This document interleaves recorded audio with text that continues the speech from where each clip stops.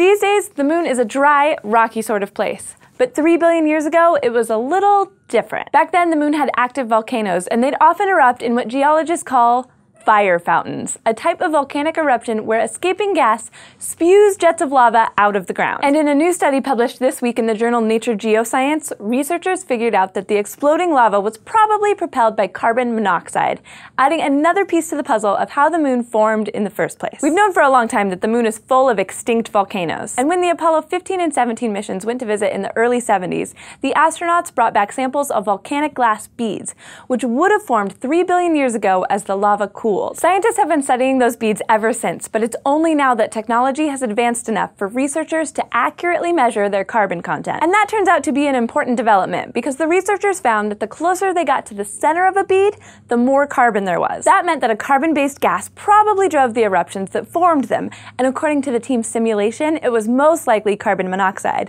as opposed to the carbon dioxide in Earth's eruptions. But the carbon content showed up in concentrations similar to what we see here on Earth, in volcanic rock in the ocean. The fact that volcanic rocks on Earth and on the moon look similar makes a lot of sense, since both worlds probably started out as the same giant ball of stuff. According to that theory, a Mars-sized object crashed into our young proto-Earth and knocked off a chunk that became the moon. But there's one big difference between the moon's glass beads and the modern volcanic rock on Earth.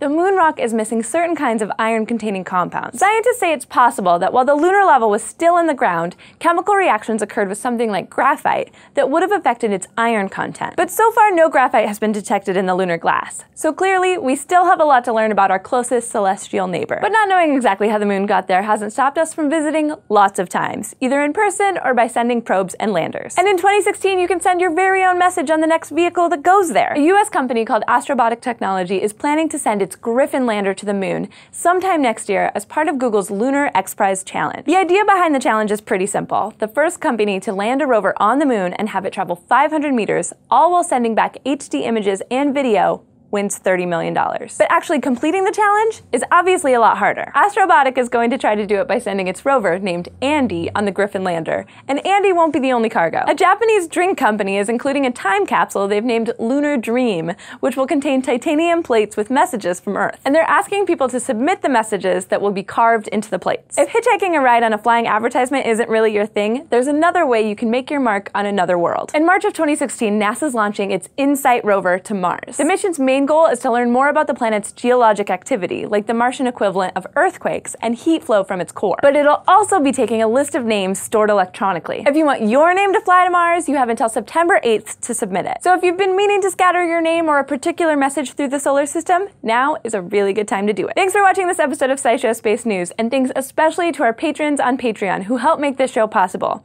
If you want to help us keep making episodes like this, just go to patreon.com slash scishow. And if you want to keep getting smarter with us, just go to YouTube youtube.com slash scishowspace and subscribe.